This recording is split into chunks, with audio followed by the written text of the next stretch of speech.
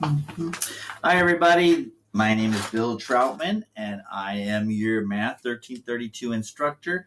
Um, today, what I want to do is let you know what's going to be on test number one.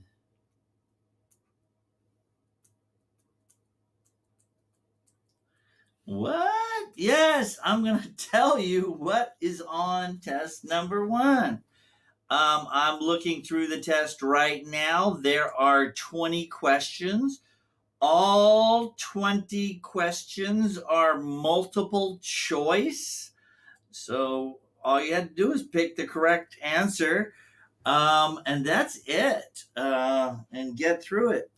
Um, it still might not be as e- easy uh, if you haven't done the homework and stuff but if you've done the homework, you've taken notes, um, I think you're um, good to go, ready to go for this course. Um, so, on test one, what can you use?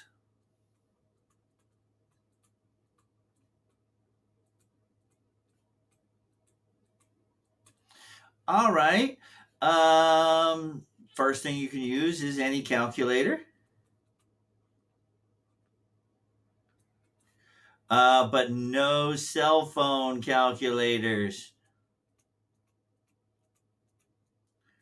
Okay, so you can use a calculator, but no cell phone. Is that how you spell? No cell phones. Uh, any calculator you want, no cell phone calculators. Number two, you can use any notes you take.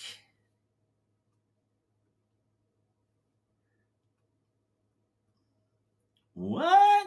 Yes, any notes you take, you can use it. Hopefully, while you're doing your homework, you've been taking notes. uh, yes, you may use notes. Um, the workbook that I put in the beginning of the course, you can use your notes. You can also use your workbook.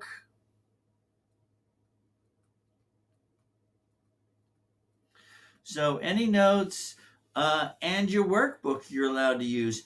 And by the way, your notes and workbook you can use for all tests except the final exam. On the final exam, you're only allowed one page of notes. But on this test, you can use as many notes as you want. Um, you have a calculator, all the notes that you want, uh, and that's it. I think that should be enough. Um, no outside electronic devices, no electronic devices.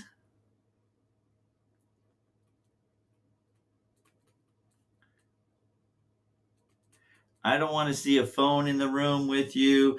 I don't want to hear a phone ring. I don't want to see a tablet. I don't want to see another laptop, another computer. Uh, you should be in a room alone with the, the computer that you're using, your notes, and a calculator. So that's what you may use on the test. Um, all right. Hopefully that answers that part. All right, so for the rest of the test, let's find out what type of questions we have. Um, I'm just going to go through the test. It may not be in order, but it may be pretty close to the order. Um, can you plot this point? Uh, this is a rectangular in a rectangular coordinate system. Can you plot this point, right? Negative 5, 7. There, I just did it. There's the point I plotted. Can you plot a point? Oh, how hard is that? That's a question on a test, and it's multiple choice. You just have to pick the correct dot. Um, question. The next question. Um, can you graph this?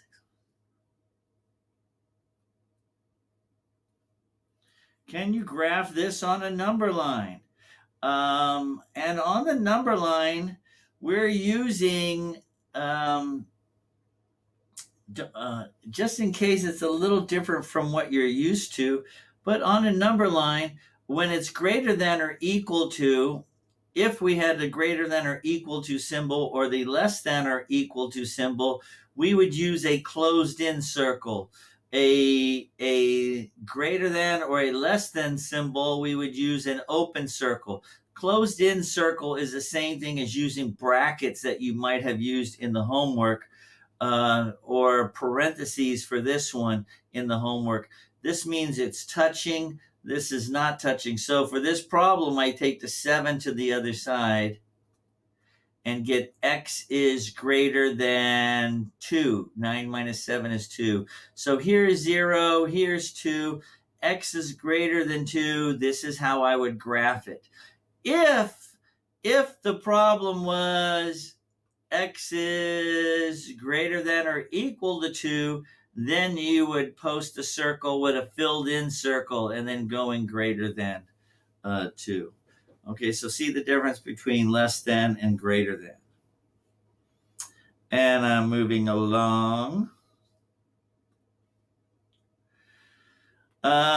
Um, x over 5 minus x over 8 equals uh, 7 over 10. Uh, can you solve? What does solve mean? Solve means tell me what x equals. All right. Tell me what x equals on a problem like this. Find an example, see if you can do it. How about a problem like this?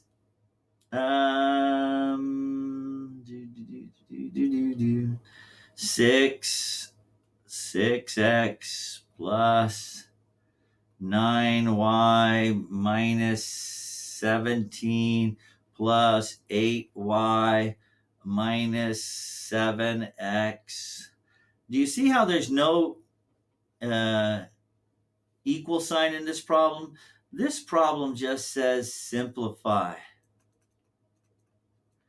What does that mean? It means combine like terms. Uh, there's no equal sign. So we're not finding X or Y. We're just combining all the terms that we can. We're simplifying, doing all the math we possibly can.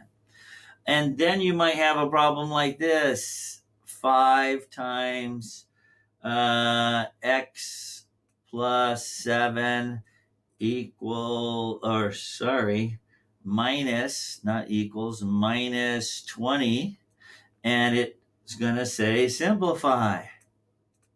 Once again, simplify means do all the math you possibly can.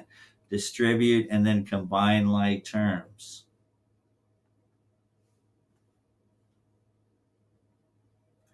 Find problems similar to these um, on the test.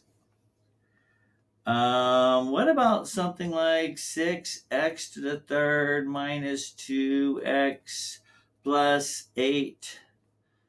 And then we have this, uh, this with x equals 4. What it says evaluate. Evaluate means plug the numbers into the letters here's the, the, the problem we're going to evaluate. We're evaluating by making x equal to 4. So everywhere there's an x, I'm putting a 4 into the equation. I'd put it in, uh, right? Everywhere there's an x, we're putting a 4 into there. And then you're going to do the math. Using the order of operations, you find the answer and do the math. That's an evaluate problem. And we have another one of those very similar, except we might have X's and Y's. And they're going to have maybe X equals 1 and Y equals 2. And then everywhere there's an X, you plug a 1 in every there's a place there's a y you plug a 2 in and then you evaluate then you do the math and tell me what it equals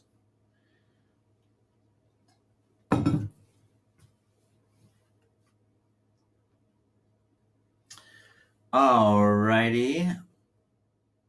18 minus 4 plus 7, 8 plus 2 uh, minus 100. uh, it's just going to say use the order of operations.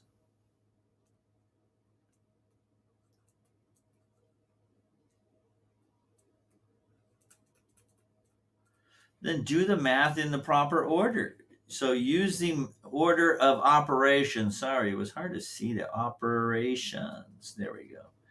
Still pretty messy. The order of operations. Uh, remember, please excuse my dear Aunt Sally.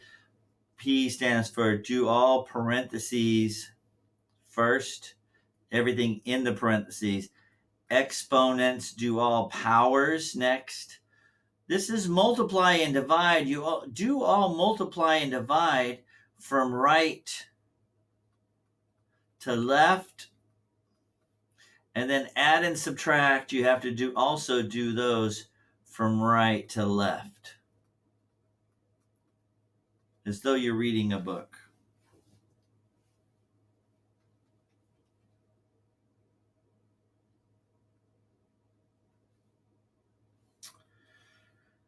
Okay, let's see.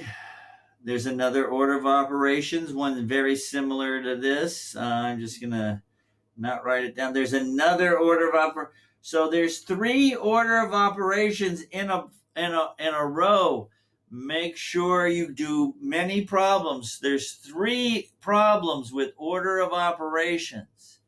So make sure you know, go to that order of operations section in your homework or in the workbook and make sure you know how to do those types of problems.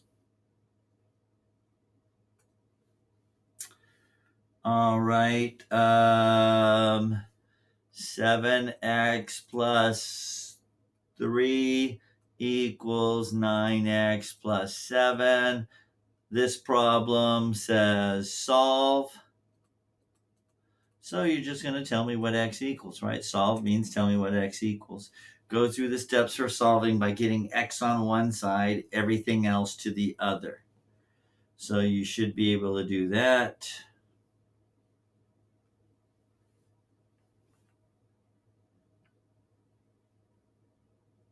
There's another solve problem, very similar. Another solve problem, very similar. Um, so uh, there's there's at least four solve problems. Four of these types of problems, 6x plus 9 equals 22. So problems like this, 1.2x plus 6.3 equals 9.5. Can you do these solve for X type of problems? Look for them uh, in your workbook or the homework and do them.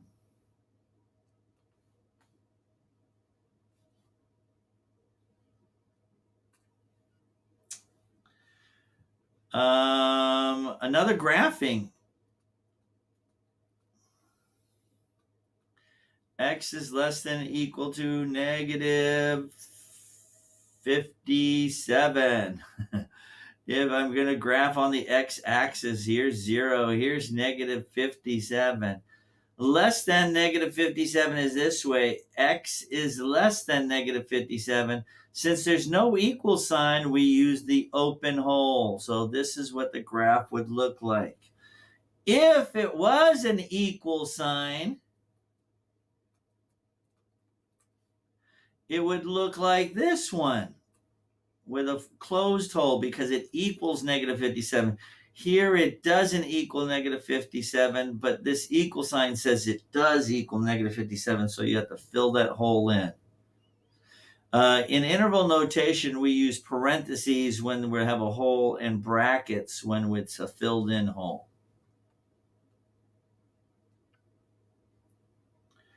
Another graphing problem. Ooh, see if you can do this graphing problem.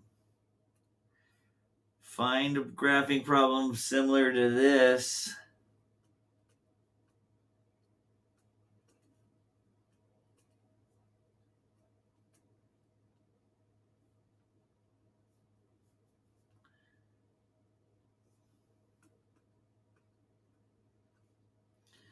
This is x is between these two numbers. So if I was going to put it on a graph, here's 0, here's 7, here's 12. x is between 7 and 12. And since they're both equal, uh, one, they're both filled in.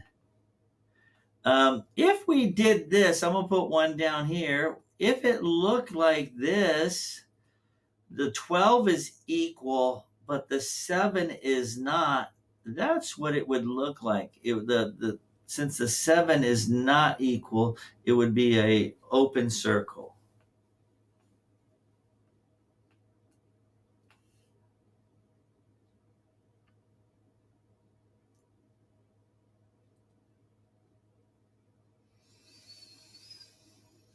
Mm-hmm, mm-hmm, mm-hmm.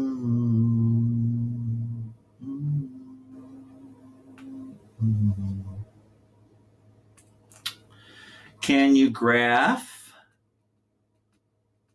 See, look at the difference between this graphing problem and the previous ones. In the previous ones, we just had x's. In this one, we have x's and y's, so you have to graph it on a Cartesian coordinate system. How would you graph this? Uh, let you do that. And it's multiple choice. You just have to pick the correct answer. We have another one. Uh, graph this.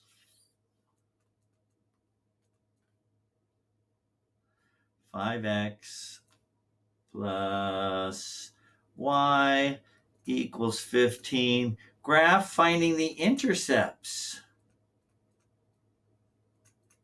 So you would find the x-intercept and y-intercept and graph the two you just have to pick the correct uh, answer. Um, there's another graphing y equals 2 thirds x plus 7. Can you graph something like that? And can you find the slope? Finally, the last question. Sorry. is not letting me write. Can you find the slope uh, if you have two points? Uh, let's say it's 50 or 5, 125, and 19, 250. Can you find the slope? And do you know the slope formula when you have two points? What are what is the slope formula when you have two points? And how do you know which one of these numbers goes into which spot to do the math? All right. So that is the test. That's the review. I just went over the test and showed you what it is. It's not the same problems. I picked very similar problems, but that is the test. If um, you have some time now, look at it uh, study these questions, find similar ones in the homework or in your workbook, and be able to do them. Call me if you have any questions or email me. You guys have a uh, good study time.